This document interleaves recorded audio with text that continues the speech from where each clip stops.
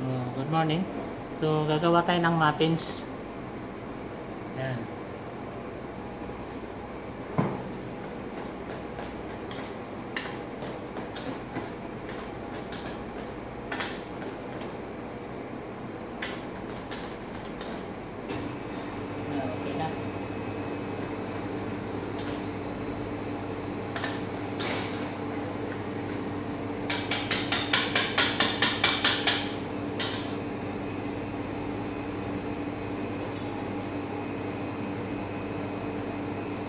So, mamaya ipapakita ko yung ano, yung pagkaluto.